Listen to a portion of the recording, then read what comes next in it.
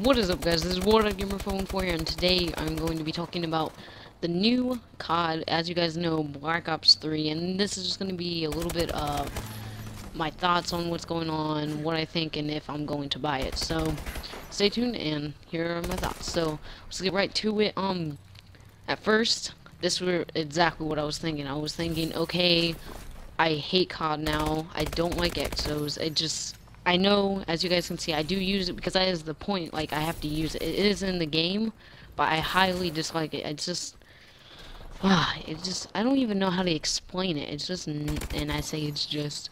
But anyways, um, and it was just like, uh, the trailer, and it was talking about, like, the numbers and everything, and I was like, okay, it's Black Ops. I was like, I was hoping that they don't add them, and then they gave us the story trailer, and that is where I got happy because that is where it showed no exos.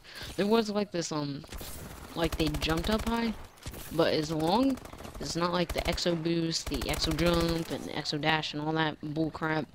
I'll be fine with it. It looked pretty cool. Like the only thing I can see, but it wasn't even a problem. That part, um, there was a part which there will be a link of the trailer.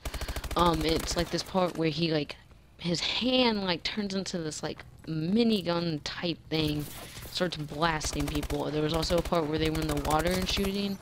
I um someone in the video I was watching they also were hoping that you could do that multiplayer, which would be that'd be so cool. Like if they just had a map kind of like desired for that, like you could just go into the water. It's like mainly where the battleground would be. That was just uh, what I was thinking. Also, what got me the hype the most was there's a bow. And yes, you're just like, you're probably thinking like, what, a bow? Why would you want a bow in the future? Well, it just means it looks so cool, and I wonder what they would do with it, because COD has never added a bow. And it sounds stupid of me getting hyped off of it, but I don't know why. It's just so cool, because like, just, oh, I don't, oh man, I got so hyped when I saw that. Um, also, here is a prediction. So, I was seeing, like, some gameplay on the trailer, and I don't know if it was multiplayer, but there was like there was the humans and then there was some robots. So like maybe just maybe there's like robots versus humans which would be kind of cool. But like oh wait actually that'd be kind of cool actually. Like if you could customize a robot that'd be awesome. But I don't know exactly. They haven't released too much. Also who I watch was saying something about uh, what you call it the customization like you can change your gun camo and oh my god that's so cool like they got me more hyped in that story story trailer than I expected. Multiplayer seems like it'd be fun. I mean, they had the cross with the score, the score streaks, which there's this like one that comes out of your hand or something. It's like a bunch of like bugs or something. But it looks cool. Multiplayer doesn't look that bad. It looks pretty fun. I don't know exactly what's gonna turn out, but it looks pretty fun to me. Also, story. Um, it's just like the same as Black Ops 2 but like continuing it on to Black Ops 3, which is fine, but I hope it's not exactly the same, because if it's exactly the same, I'm gonna be a little disappointed, like, oh, it's, you can't do anything because the future, man, the future, like, add something in there to make it more fun, don't make it just like, alright, shoot this guy, he, he took over your EXO, like in Advanced Warfare, and yeah, that's pretty much it. Which, I, I don't know, just, they need to make it good. I'm hoping they will make the story good. I mean, they done screwed up on Advanced Warfare. Kevin Spacey helped him. That's, like, literally the only reason why I actually was amused with story mode, because I was like, hey, look, this guy's actually good at acting. And I think that's about it. Um, for multiplayer, oh, I almost forgot, zombies. Ah, oh, man. You don't have to pay for it. Why did Advanced Warfare make you pay for it the zombies, that's so stupid. I learned, okay, I did buy it, but only the first one. I was like, I'm not buying another one. That's stupid. Why are they gonna make you pay for zombies? They're having it. And I got so hyped. They only showed a little bit of it. I also, from the person I watched, said, well, I don't know if this is correct, so don't, like, don't hold me on this, but there may actually be, like, a story to zombies.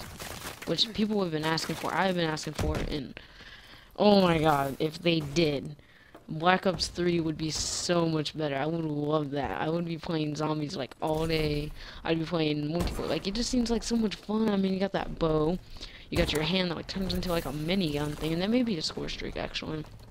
Um, I do wonder, which is not like big, big, but like, I wonder what they do with what they are going to do with um the thermal. I don't think that's gonna be in it, cause in that trailer it showed, uh, not the world review reveal, not It like the guy didn't have like no legs or something, and I didn't really understand that.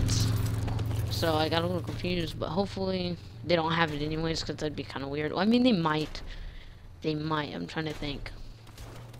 Yeah, I could see. Maybe, just maybe they could have it like for their top part or something.